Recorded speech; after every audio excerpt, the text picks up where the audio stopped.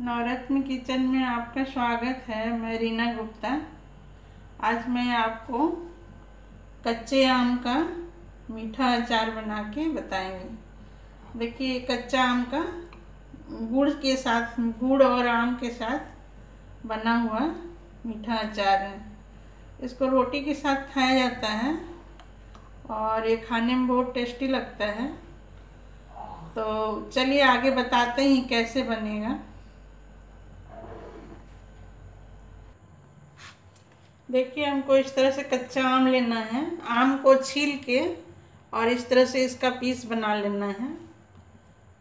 छोटा छोटा, लंबा आप जैसा चाहें वैसा पीस बना सकते हैं। इसमें कोई ये नहीं कि ऐसा ही बनाना है। इसका इस तरह से छील के, काट के पीस बना लेना है।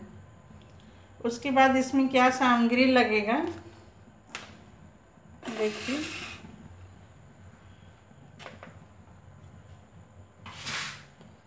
इसमें लगेगा गुड़। ये गुड़ है, इसमें गुड़ लगेगा। और और ये मिर्चा, आठ दस मिर्चा है इसमें। और ये रिफाइन रिफाइन तेल और हल्दी, सौंफ, जीरा और नमक और ये हींग। इतना सारा सामग्री से इसको हम बनाएँगे।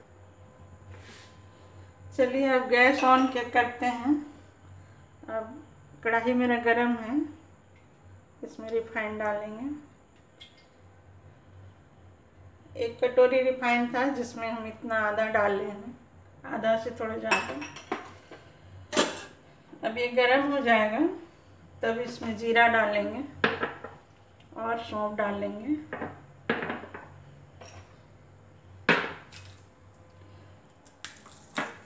मिर्चा को तोड़ लेते हैं इस तरह से। दो दो टुकड़ा कर लेना है।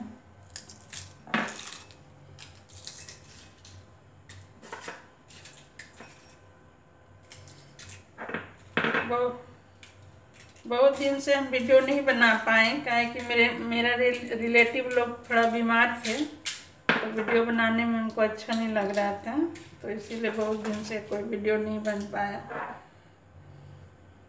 देखिए गरम होगा तो इसमें जीरा डाल लेंगे। थोड़ा हल्का और गरम होगा।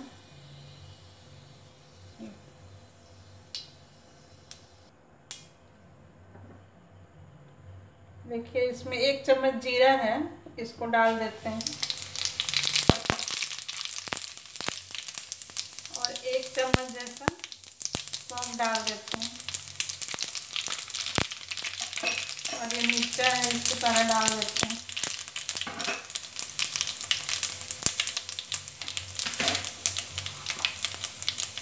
हींग डाल देते हैं थोड़ा। और डाल देते इसमें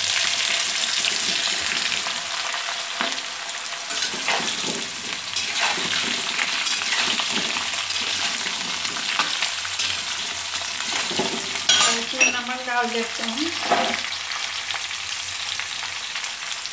इतना हमने दो चम्मच, भर भर के दो चम्मच नमक दे देते हैं।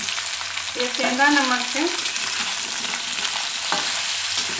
ये आम, मीठा आम का अचार जब भी बनाएँगे तो ज़्यादा खट्टा नहीं होना चाहिए। जो मीठा खट्टा आम होता है ना उसी का अचार ठीक होता है। और ज़्यादा खट्टा होता है तो उसमें गुड़ ज़्यादा लगता है और खट्टा मीठा रहता है तो उसमें थोड़ा कम गुड़ लगता है। इसको काटने के पहले धो लेना है। काटने के बाद आम को धोना नहीं है।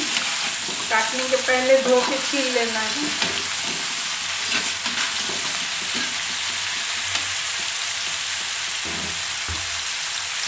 एक किलो से थोड़ा ज़्यादा आम है। और इसमें डेढ़ किलो गुड़ है।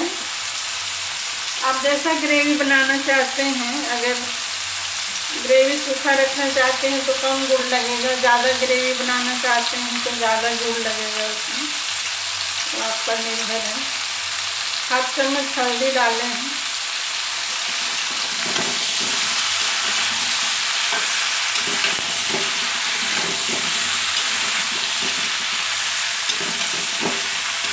हैं थोड़ा भून लेंगे। उसके बाद दूध डालेंगे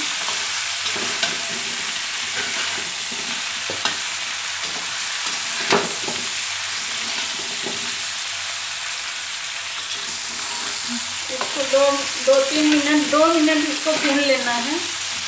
दो मिनट के बाद इसमें दूध डाल रहे हैं। अब देखिए, दो मिनट इसको भून लिए हैं। इतना देर भूनना है कि हल्दी थोड़ा भुना जाए। हल्दी कच्चा नहीं रहना चाहिए। हल्दी भून जाएगा, उसके बाद इसमें गुड़ डाल देते हैं। ये डेढ़ किलो गुड़ है और आम एक किलो से ऊपर है। अब इसको तब तक भूनेंगे जब तक गुड़ अच्छा से पिघल न जाए। ये बिना पानी का इसमें कोई पानी नहीं डालना है। बिना पानी का ही गुड़ धीरे धीरे इसका गैस फ्लेम स्लो कर देना है। और धीरे धीरे इसको पिघलने देना है।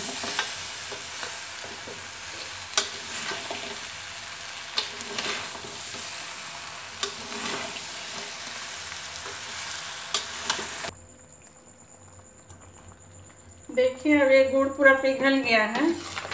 इसको बीच बीच में ऐसे चलाते रहना, इसको छोड़ना नहीं है, नहीं तो जलने, नीचे जलने का डर होता है। और इसको गुड़ डालने के बाद फ्लेम एकदम स्लो फ्लेम में बनाना है। और जब भी आप ये मीठा अचार बना रहे हैं तो कोशिश कीजिए कि गुड़ का ही बनाइए, क्योंकि चीनी से बहुत नुकसान होता है। चीनी खाने से नुकसान है, कोई फ़ायदा नहीं है। और गुड़ का बनाएँगे तो फ़ायदा ही फ़ायदा है। गुड़ से खून साफ़ होता है। बहुत तरह की बीमारी ठीक होता है, गुड़ से खांसी ठीक होता है। देखिए, अभी तैयार हो गया है। अब गैस ऑफ़ कर रहे हैं। देखिए, अब ये ठंडा हो जाएगा तो इसको सूखा डब्बा में डाल के रखना है। अभी इसको ढकना नहीं है, जब तक गर्म है, इसको ढकना नहीं है। इसको खुला ही ठंडा होने देना है, क्योंकि ढक देने से भाप उसमें होगा तो उसका पानी उसमें चला जाएगा तो खराब हो जाएगा। इसको ढकना नहीं है। जब ये पूरा ठंडा हो जाएगा तो इसको डब्बा में फिर डाल देंगे। और अब मिलेंगे दूसरे वीडियो में। Bye bye.